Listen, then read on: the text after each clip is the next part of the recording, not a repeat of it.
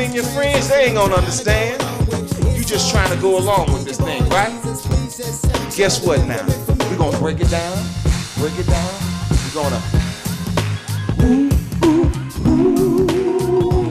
That's called moaning.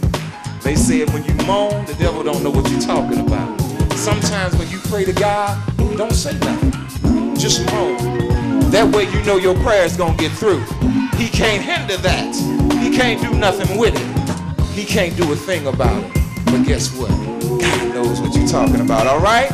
Just moan to him sometimes. And he understands every last one of those groans. That's what I like about him. Because he's good and he's kind. And guess what? He's always on time. That's God. All right? Let's bless him up in here. All right now, all right, all right. That's what I'm talking about. Now y'all ain't gotta give it up for me, but I tell you one thing, you gotta give it up for Jesus. Now that's for real. Now whatever else you do for today, don't forget about him, all right? I want y'all to get that. Everything that you hear today is a result of him. When you listen to God and you follow his instructions, he has a plan for your life. And trust me, his plan is better than anything that man could ever come up with. Believe that. Now we're about to bless God with a little bit of something here. We're going to say thank you. How many can tell God thank you? Did he wake you up and start you on your way? All right, he got us all right here, right now, right? All right, here we go. All right, all right. Hey, hey,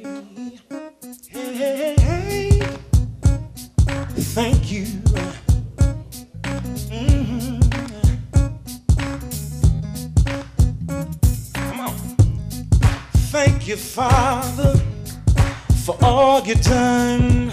I count my blessings, name them one by one. You've been with me through thick and thin, right by my side. You've been my closest friend when I was down to my very last dime. Lord, you stepped in, sit right on time. See all of my problems, burdens, worries, and cares. See, I took them to the Lord, and then I left them there.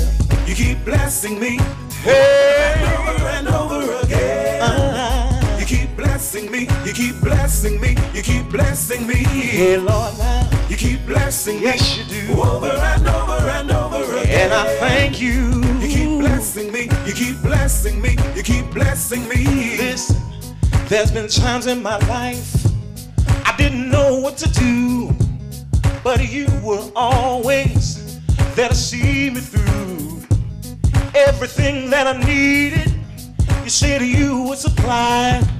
So I had to trust you, gave you my life. There were times when I was headed in the